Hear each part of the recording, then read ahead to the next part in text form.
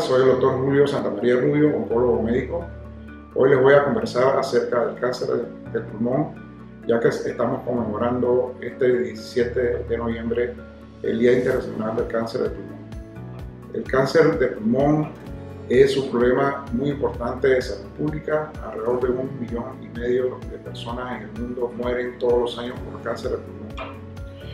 Sabemos muy bien que el factor principal de riesgo para el cáncer de pulmón es el tabaquismo.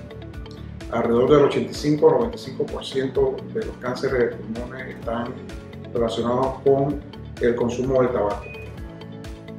Eh, en Panamá eh, eh, hemos logrado un avance muy grande en relación a, la disminución del tabaquismo desde hace aproximadamente 15 años, un esfuerzo de todos los componentes de la sociedad eh, hemos logrado una disminución en la incidencia del uso del tabaco en la población de, desde un 30% o 35% muchos años atrás, actualmente a un 6.5% de los adultos eh, fuman activamente, eh, pero no podemos de bajar la guardia y hay que continuar con las campañas, sobre todo en la niñez y la adolescencia, de el no fumar, el no eh, usar eh, eh, el tabaco, porque no solamente causa el cáncer de pulmón, sino otros muchos cánceres y enfermedades cardiovasculares. En Panamá se diagnostican alrededor de 300 eh, personas al año eh, por cáncer de pulmón. Es la sexta causa eh, de incidencia de cánceres en el país. Y esto es distinto a otros países en donde el, cáncer de pulmón es más frecuente y es debido al éxito de la disminución del uso del tabaco en nuestra población. A pesar de ello, es un cáncer muy letal está ubicado en, la tercera causa de muerte por cáncer en nuestro país. Alrededor de 200 personas, 250 personas mueren todos los años en nuestro país por cáncer de pulmón.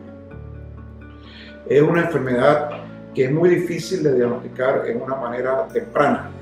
Cuando eh, da molestias, síntomas como es la tos, la ronquera, la falta de aire, la pérdida de peso, la pérdida del apetito, eh, dolores, está ya avanzado.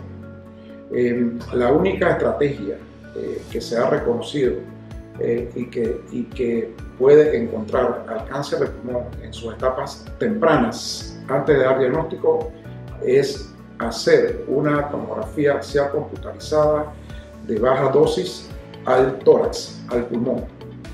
Em, la indicación es de que un fumador activo entre 50 años y 80 años o que haya dejado de fumar en los últimos 15 años y que eh, eh, haya consumido o esté consumiendo 20 paquetes de cigarrillo al año, eh, tienen un alto riesgo de tener cáncer de pulmón y se debe hacer anualmente una tomografía axial computarizada de bajo riesgo, en el cual el único lugar aquí en Panamá que tiene el equipo adecuado es el Hospital de Panamá.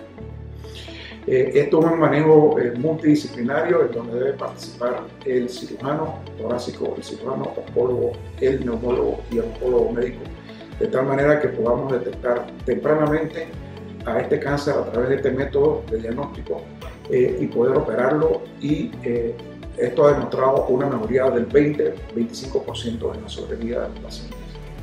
Una vez diagnosticado el cáncer de pulmón en su etapa avanzada, ya no es curable, pero eh, se ha logrado avances recientes en los últimos años con medicamentos, terapia dirigida y medicamentos de quimioterapia, medicamentos de inmunoterapia que eh, han logrado mejorar la respuesta y la sobrevida de estos pacientes.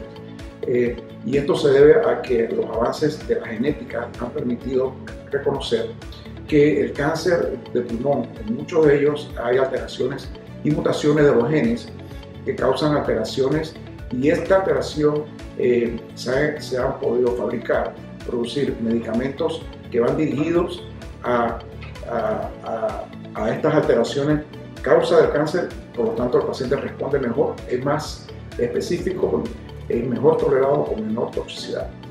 Y lo último es el avance de la inmunoterapia, no solamente en cáncer, sino en otros cánceres. El sistema inmune nos protege a nosotros de, de los tumores. Eh, algunos tumores eh, se escapan de este sistema inmune produciendo ciertas sustancias que bloquean el sistema inmune. La medicina ha logrado eh, fabricar medicamentos que te permiten desbloquear esta inhibición, es decir, liberar este bloqueo y el sistema inmune entonces junto con la quimioterapia o solo permite una respuesta muy muy importante en, muchos pacientes con cáncer de pulmón y otros cánceres mejorando la sobrevida. Por lo tanto, eh, eh, sigamos tomando conciencia eh, toda la población de la importancia de la prevención, la detección temprana, el factor de riesgo principal, no fumar. Y si fumas, acude a una clínica de cesación del cigarrillo que hay aquí en Panamá, del tabaquismo, que tiene una, alta tasa de éxito, a ejercicio físico y dieta saludable. Para una mayor información, estamos a su disposición y a la orden. En, eh, participo, estoy, eh, soy miembro del eh, grupo del Centro Hematológico Panamá, quien tiene una presencia aquí física en Panamá Clinic, en el piso 22. Estamos a la orden y a su disposición por cualquier pregunta o consulta. Muchas gracias.